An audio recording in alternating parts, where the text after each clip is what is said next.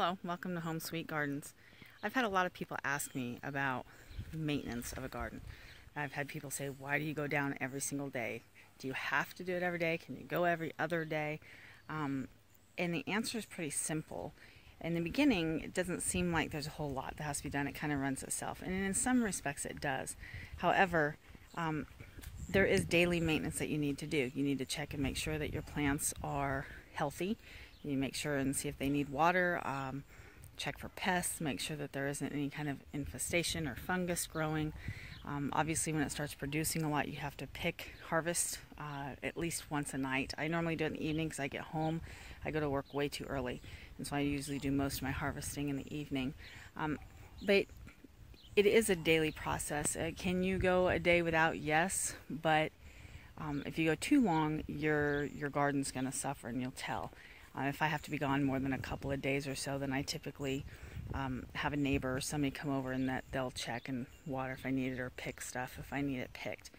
Um, weeds are a big one. So, for example, I was out here yesterday because, of course, I come every single day and I pick the weeds here and there. Um, I try to do it at least a little bit every time I'm out here. But for example, this right here is a weed.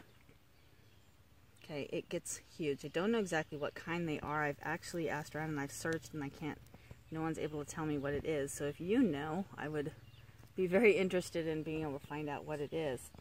But they seem to grow almost overnight. Here's one right here as well. And if I don't pick these out every single day or every other day or whatever, they will literally take over the whole garden bed. Um, the root system is really deep and it runs sideways all through and it's gotten all through the whole bed. Um, and like I said, I'm not exactly sure what it is, but if I don't keep control over it, then it just comes back and it, like I said, it's just an infestation. Um, I also have the thistle that's growing in here.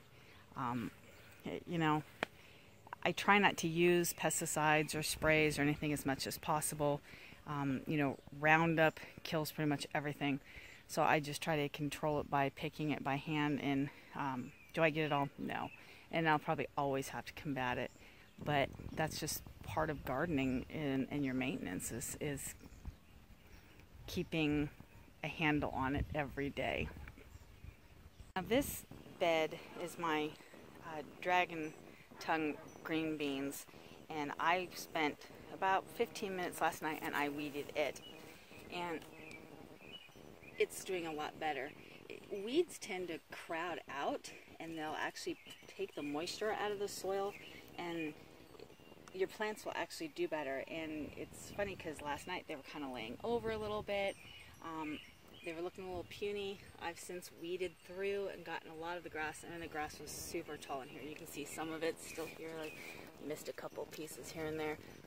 Um, but you get all that stuff out of there, and all of a sudden, your plants are just so much healthier. They're much happier.